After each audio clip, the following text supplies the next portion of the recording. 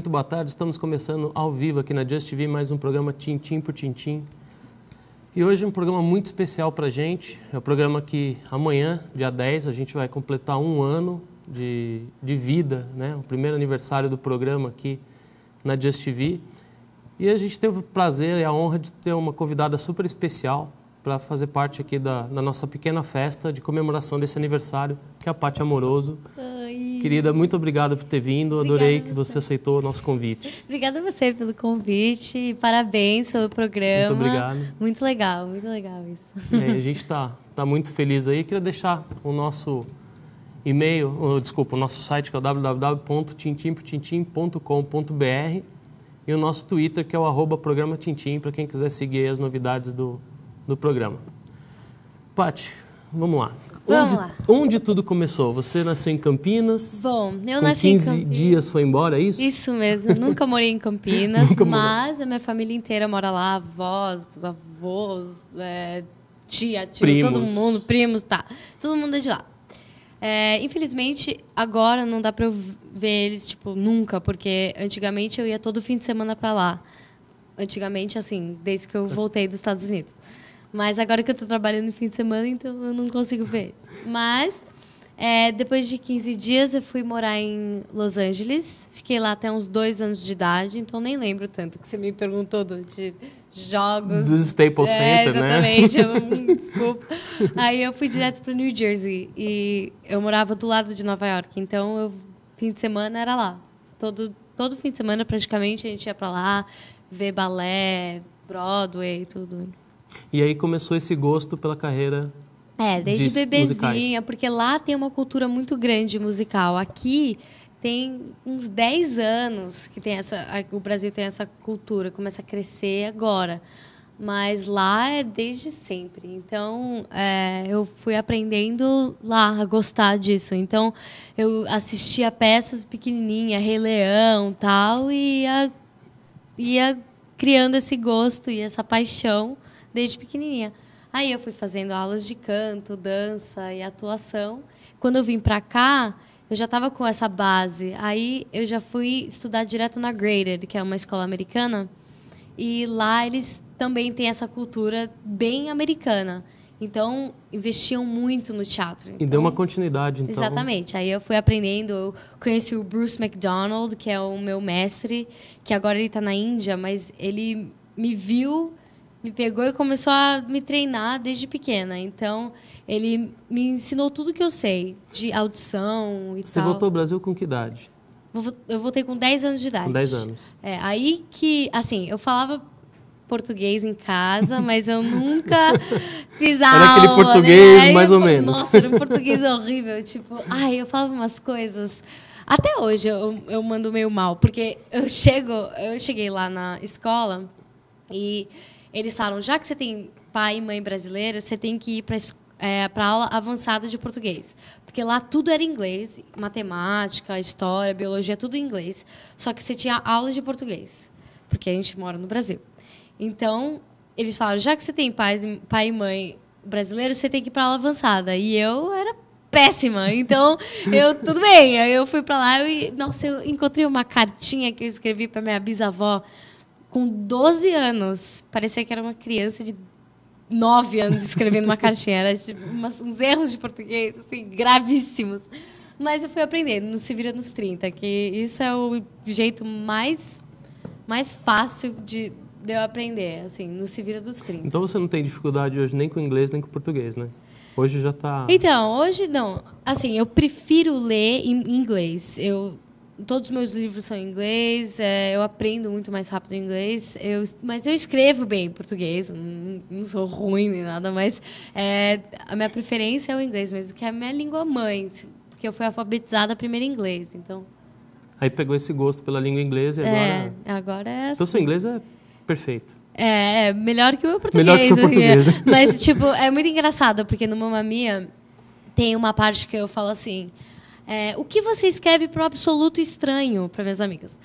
Aí eu levei mil notas, porque eu sempre falava: o que você escreve para um absoluto estranho? E em inglês é absolute. Então, absolute é uma entonação um pouco mais no ar. Aí ele falava, Pati, é absoluto. então, no começo eu comecei a falar, o que, que você escreve por absoluto estranho? Só para eu acostumar. Bom, eu queria deixar aqui então para os nossos amigos internautas que estão assistindo a gente, está liberado aqui para vocês poderem mandar algum tipo de pergunta, alguma mensagem aqui para o programa. E agradecer aí as centenas de pessoas que entrou no nosso Facebook aí, e curtiu o, o nosso aniversário também. Obrigado pela audiência de todos vocês. Bom, para quem a Paty já acabou adiantando aqui, a Paty hoje ela está no espetáculo Mamma Mia, né? Que está em cartaz todas. É de quinta a domingo, duas vezes no sábado, duas vezes no domingo. É, quinta e sexta às 21 horas, sábado é às 17 horas e às 21, 21. horas, e domingo é às 16 horas e 20 horas. Só. Só. Antigamente era de quarta a domingo, mas a gente tirou quartas-feiras, que foi bom, muito bom pra gente, pra gente conseguir descansar bem, fazer bem, né? E você faz o papel hoje da Sofia. É. Conta um pouquinho pra gente quem é a Sofia no musical, o que, que ela faz. A Sofia é a, a, noiva do espetáculo. Ela, é, ela tem 20 anos, que é a minha idade, que não parece mais, é a minha idade. e ela, assim, ela mora com a mãe dela numa ilha grega. E elas moram num hotel que a mãe dela construiu e que elas herdaram essa, essa terra de uma senhora idosa que morava com elas. Aí a Sophie descobre o diário da mãe dela escondido e ela lê o diário e descobre que a mãe dela, 21 anos atrás, teve três namorados na mesma época. E a Sophie não sabe quem é o pai dela. E ela resolve convidar esses três pais para o casamento dela, que assim, a peça se baseia em dois dias, na véspera e no dia do casamento. Então ela quer descobrir qual é o pai dela para levar ela até o altar. Ela acha que só de ver ela vai descobrir, mas não é bem assim. Lá, e também não, é não podemos assim contar acontece, o final, não né? Contar. Então, mas quem, é isso que acontece. Quem quiser saber o final da história, vai lá no teatro. Venha, pra... venha, venha no Teatro Abril, na Brigadeiro Luiz Antônio. Número? Número 411. Número 411. É. Ainda bem que a produção está aqui, né? É, ainda bem. Não, mas é nessas horas que ajudam a gente. É, eu também então. esqueço sempre as coisas, olho para Isa e Isa, ah, falo, ah lembrei, e continua, né? Pois é. E você esperava que o, o Mamma Mia, óbvio, a gente sabe que foi tem um, um dos maiores musicais do mundo, tem um sucesso enorme. Teve até um filme feito depois em cima do musical, uhum. que normalmente o musical é feito em cima do filme, esse caso foi o contrário. Né? Você esperava que com 20 anos de idade você já atingisse isso quando você começou sua carreira? Não. Toda essa visão do espetáculo, você hoje com um dos papéis principais do espetáculo, ter toda essa é, tudo isso que está acontecendo na sua vida com 20 anos, você, você esperava isso? Nossa, não? não esperava mesmo, assim. É, ainda mais Mamma Mia, que é um espetáculo considerado o número um do mundo. É, eu nunca imaginei que eu fosse ter essa oportunidade de fazer o papel principal da peça, que eu, que eu pudesse cantar oito músicas, oito solos só para mim, assim, é, é, um, é, uma maravilha, assim, tipo, sim, teve filme e o filme é muito bom, mas a, o musical é mil vezes melhor, assim, tem umas cenas que eles não colocaram no filme, porque, assim, para poder vender o filme, que é um musical, é muito mais difícil do que vender um filme normal. Então, eles tiveram que cortar muitas cenas que não aparece a Meryl Streep, porque ela basicamente que vendeu o filme. E tem umas cenas da Sophie que ela tá sonhando, que é um pesadelo, que a Meryl Streep não, não faz não parte. Apareceu. E tem outra cena do Pierce Brosnan que não teve, que é Knowing Me, Knowing You, que é a música do Sam. Então, tiveram que cortar muitas cenas legais do filme que na peça meu, arrasam, sabe? Ó, o Marlon Timóteo tá mandando uma mensagem que ele diz que ele sabe o fim da Sofia, mas eu não vou contar o que ele escreveu aqui, tá? Depois eu te mostro e você fala se ele acertou ou não. eu quero ver, eu quero ver.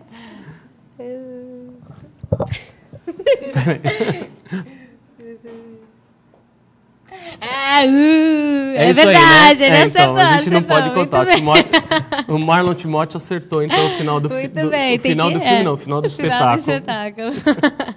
Mas o final do espetáculo tem uma cena muito interessante, que é uma cena que a gente trabalhou muito com os americanos, né? Que é a cena do casamento, que eu posso falar. Pode. É, e é muito engraçado porque o, o Robert McQueen, que é o diretor da, do Mamma Mia, que dirigiu a gente, ele escolheu fazer em forma de níveis. Então ele falou assim: tem muita coisa que a gente descobre no casamento.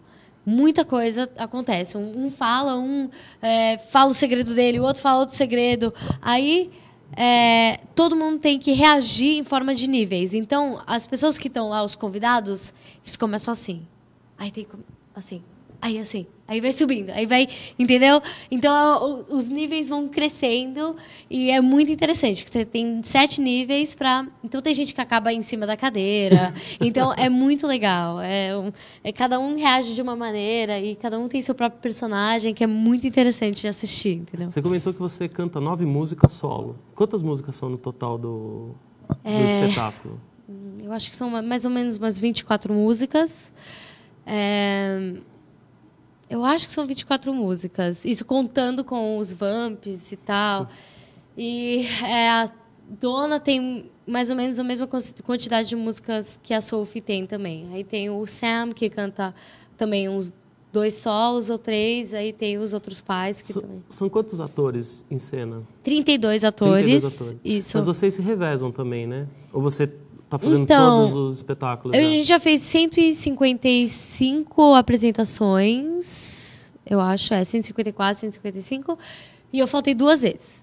Uma vez porque eu caiu um baú na minha mão, então eles não, eles não, eles não podem me colocar no palco se eu tiver em risco de vida. Tipo, se eu tiver, se tiver prestes a quebrar, não pode, não sei o quê. Então eu tive que sair. Nossa, eu chorei muito. E é, de não fazer a festa. E a segunda vez eu faltei porque eu tive um evento familiar. Então, e graças a Deus, por causa dessas, dessas situações, eu tenho uma uma, uma substituta. substituta que pode que ela é o Floriano Nogueira, que é o nosso diretor brasileiro residente, ele que ensaia ela tão bem quanto o americano para ela poder me substituir caso tenha alguma emergência. Uma emergência.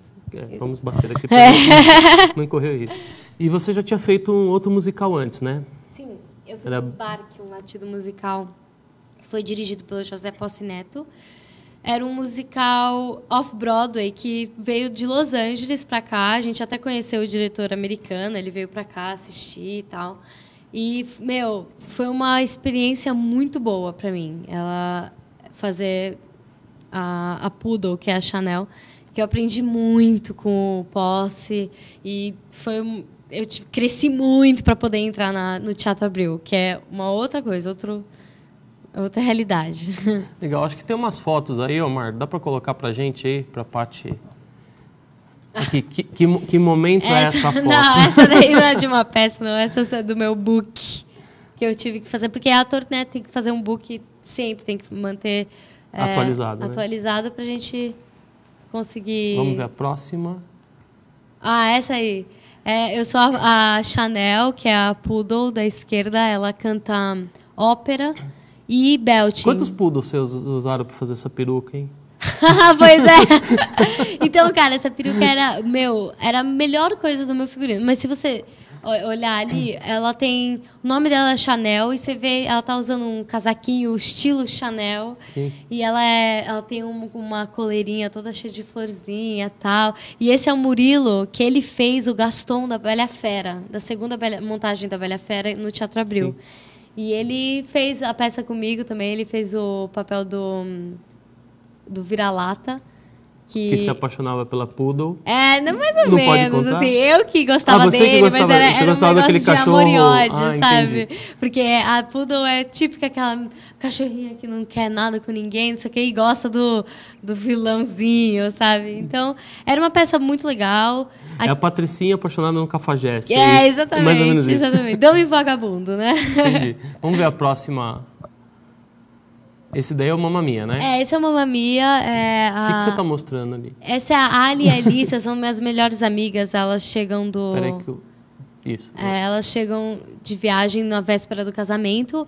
Aí lá, é nessa hora que é mais ou menos a abertura do, do espetáculo. Então eu conto para elas sobre o diário que eu encontrei e eu leio um pouco do diário cantando, né? Aquela música Honey, Honey, na, na, na, do ABBA que eu canto para elas e eu falo: "Ah, então, meu, tenho três possíveis pais, eu convidei os três pro meu casamento". E daí aí é no ponto que eu tô cantando, tipo, o que é, o que tá escrito no na no diário, que é você é o meu galã, que é a minha mãe que escreveu. Aí elas vão olhando assim, é muito legal. Eu acho que por enquanto está sendo a cena mais divertida para mim. Ah, é? Cada cada é, época muda, né? Eu gosto mais de uma cena ou outra, mas essa daí tá sendo a mais divertida, que eu rio muito com essas duas, elas são tão legais, muito simpáticas. É, aquela é muito espontâneo. Se você se você sentar e realmente perceber que minha mãe assistiu dez vezes a peça, ela percebe que, nossa, essa cena faz muita coisa diferente, porque, ah, porque cada dia você faz uma coisa. A da esquerda sempre pisa no meu pé, ou me dá um soco sem querer, e é muito legal, porque tá e, é natural, né? É natural, legal. Que acaba, depois ela chega pra mim depois de horas, ela, ai, eu pisei no seu pé, né? Eu falei, ai, nem lembro mais, acontece. Tem, tem mais foto aí, Omar? Vamos ver. Ah, essa também é tá do chique, meu, hein? é do meu book. essa foi uma, uma foto que eu tirei pra mandar lá pro Mamma Mia mesmo, pra, pra audição. Quantos, quantos atores é, foram convidados para fazer o papel de Sophie? Convidado Para o teste. pro teste, então. é, a gente começou com 3 mil currículos. 3 mil currículos. currículos de internet, assim, que eles olham. Aí eles enxugaram para 500. Aí foi enxugando, enxugando. Aí tinha 10 meninas. Aí acabou comigo. uma. Aí sobrou uma. uma Então, então, ou seja, você foi escolhido entre 3 mil pessoas, é isso? Ah, mais ou menos. Ou entre 500? 500, Entre assim, 500. É, um- 500 bem talentosas, assim. E teve, teve alguma passagem na sua carreira já que te surpreendeu, assim? Positivamente eu acredito que tenha bastante, mas teve alguma, alguma passagem, algum ato, alguma cena que, sei lá, você esqueceu o texto, ou Já não, não aconteceu, perguntam não aconteceu exatamente o que estava planejado. É, sempre me perguntam isso, que é... Isso que é... Aqui, aqui, aqui, só te cortando um pouquinho, aqui é tudo tintim por tintim, entendeu? Tem que ser nos mínimos detalhes. Ah, por isso o nome do entendi. programa, é. entendi, entendi.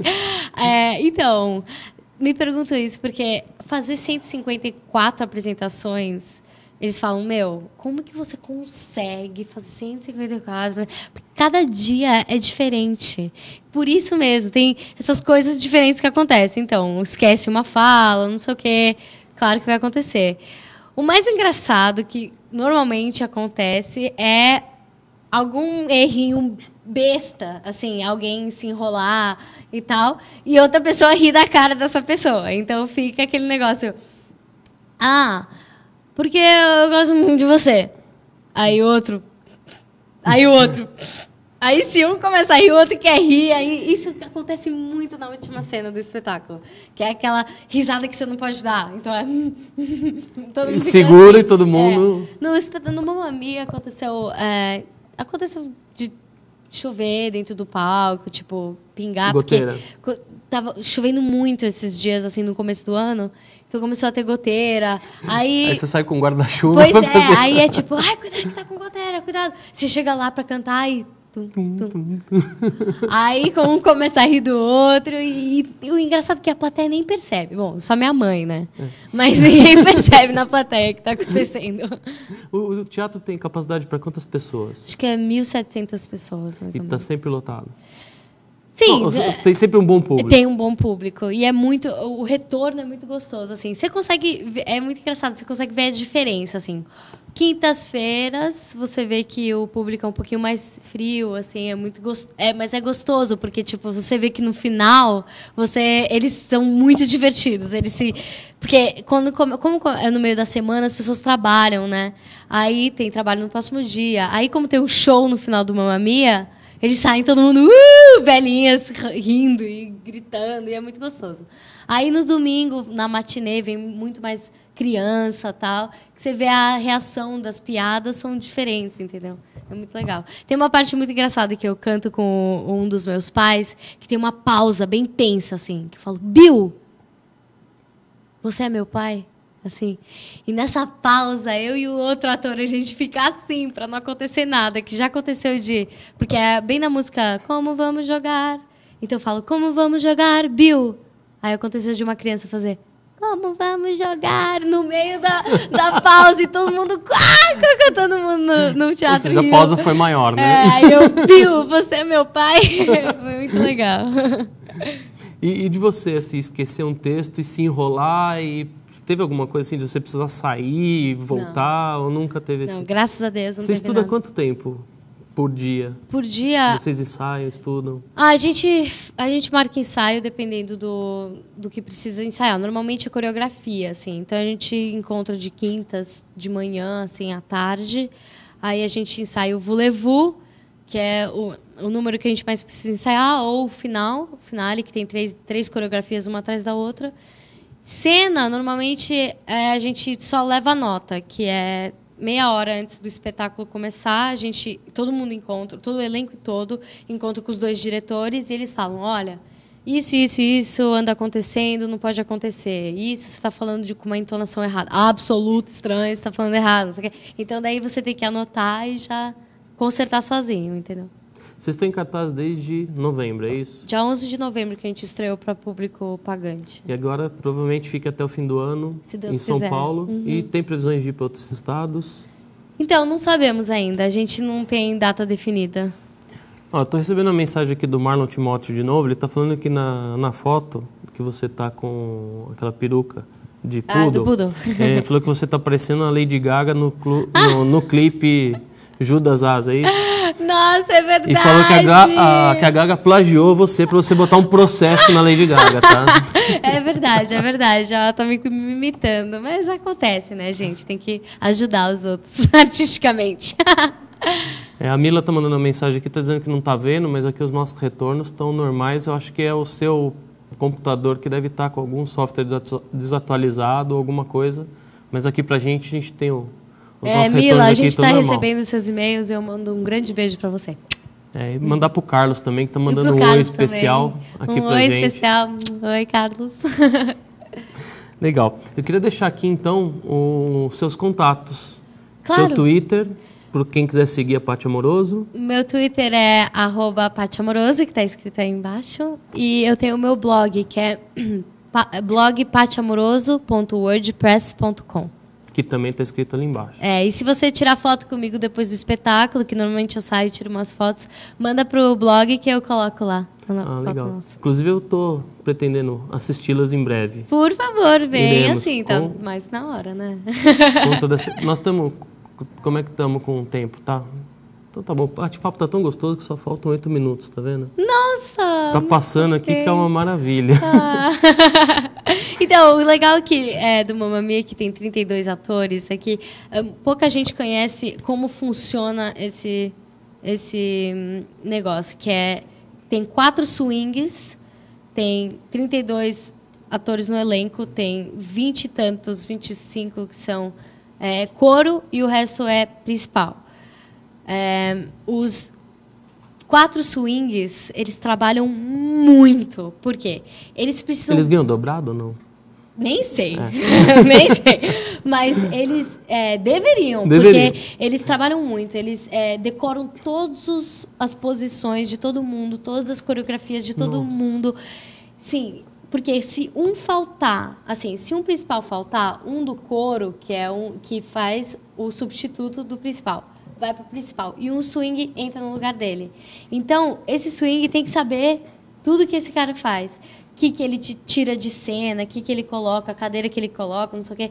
E, assim, eu fico muito orgulhosa dessas pessoas, que é um trabalho muito difícil. Então, são 32 pessoas em cena. Porém, tem um staff muito grande. Tem, tem 100 pessoas trabalhando 100 pessoas. por trás é, tem, das cenas, que são as pessoas mais importantes que tem. Que é som, luz, é, som, luz, camarim, tudo, as roupas são todas. É, todo domingo a gente lava as roupas, elas costuram todas as quartas-feiras costuram as pedras, tudo, para manter o espetáculo 100%. Né? Ó, a Mila já está conseguindo assistir. Ai, é a Mila Evangelista, ela está dizendo que te adora e que você está linda aqui no programa. Ah, imagina, obrigada, obrigada. Vou fazer uma, uma pergunta, como foi feita a tradução das músicas? O Cláudio Botelho que traduziu as músicas e as traduções estão muito boas, porque assim, é, os, os americanos, eles eles mandaram o Mamma Mia para vários países. E tem umas coisas que não podem mudar nas músicas do ABBA, que são certas palavras, tipo, honey, honey, não pode tirar, não pode ser tipo mel, mel, tá ligado? E não pode ser querido, querido, nem nada. Tem que manter igual. Money, money, money, tem que manter igual. Dancing Queen tem que manter igual. Então, o Cláudio foi muito inteligente que ele manteve a rima também. Então, por exemplo, money, money, money, não se engane, grana só faz bem. Então, não é que ele mudou. Simplesmente traduziu e mudou a letra, é, não. não é ao pé ele da conseguiu letra, é- fazer uma. Conseguiu fazer super bem, entendeu? As rimas super bem. E tem umas traduções que ficaram tão boas que eu prefiro em português do que em inglês, que é especialmente a, a música da Rosie, que ela se quiser mudar, vem me procurar, que eu tô livre sim, olha bem pra mim, que é muito legal em português, ficou muito boa. Ou E seja, acabou casando bem com o espetáculo, né? super bem, super bem. E precisa traduzir, né, gente? Porque é um espetáculo, não é que a gente está cantando a música do ABBA na vida, a gente está falando uma coisa para o outro personagem, então tem que ser traduzido. Legal. Paty, é, nosso tempo aqui é curto. Hum. Ah. Queria dizer que eu adorei a, a sua Adorei presença também, aqui. adorei também. Quero agradecer muito a você, a Karina, que trabalha na assessoria, por ter providenciado a vinda da Paty aqui. Obrigada, E- obrigada e parabéns pelo Ah, programa obrigado. de novo. Muito obrigado. e a gente vai terminar hoje o programa do- um pouquinho diferente. Queria chamar aqui a Isabela, a Bia, que fazem parte aí da nossa, da nossa produção, a Paty também, que enquanto a gente termina o programa, a gente vai também aqui aproveitar para mostrar as meninas que estão sempre aqui do nosso lado nos bastidores, né? Esse daqui, esse daqui é o, o time do Tintim. Tem a Fabiana também, que infelizmente não pôde vir, que é a nossa diretora do programa. E eu queria deixar também um, um grande beijo para Marcela, que foi a primeira produtora que a gente teve aqui, que deu início há um ano atrás com, com a gente aqui no Tintim. Dizer que eu estou muito feliz de fazer o programa, que amanhã comemora um ano e está ao lado dessas pessoas aqui que estão sempre com a gente. Então, eu vou terminar aqui o, o Tintim por Tintim hoje, e tenho que fazer aí dois agradecimentos, né? O pessoal lá da Sonhos e Sonhos que mandou um doce pra gente aqui, os, os brigadeiros, os docinhos pra gente poder comemorar. E tem o pessoal lá da torta também que mandou, é, os Sonhos e Sonhos foi, foi quem mandou o doce e mandaram uma, uma super torta aqui pra gente também, acabar comemorando junto, que é o... Zé. Zé o quê? É, mandar um abraço pro Fabiano lá. O Mar vai botar ali pra gente lá o- os nossos agradecimentos do Zé, do Zé Costa Salgados. E eu vou terminando por aqui desejando uma ótima semana para todos vocês. Fiquem com Deus, muito obrigado e até o próximo aniversário nosso. aí. Tchau, tchau.